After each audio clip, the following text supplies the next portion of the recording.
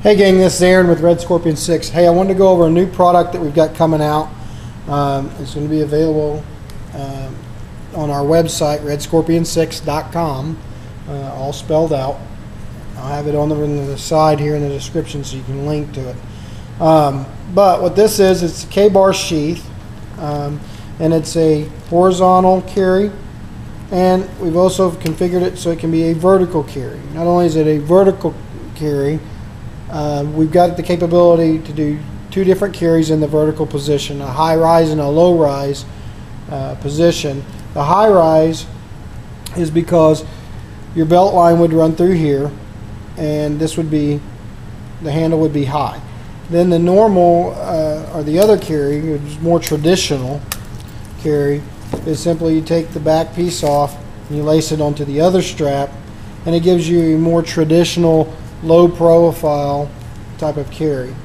So uh, it'll hang down lower for you, just like like the Ka-Bar sheath that comes standard. If you if you're a more traditional guy and you want it lower, then this is the one way you do it. So it would hang below the waistline. So um, anyway, I'm going to try to stay in frame here, guys.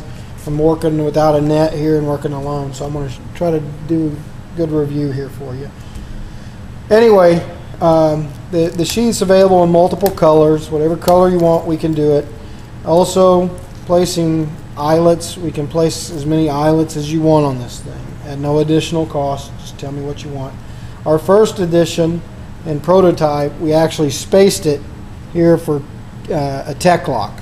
So you can go with a Tek-Lok configuration on this and um, you can carry it whichever way you want to on this.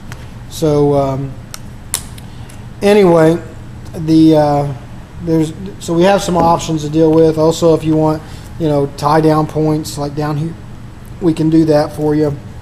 Um, and you know the different colors. So if you want different colors, we can do different colors.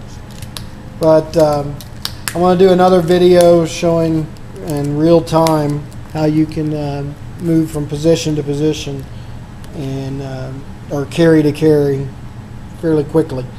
Um, so let me know what you think, fellas.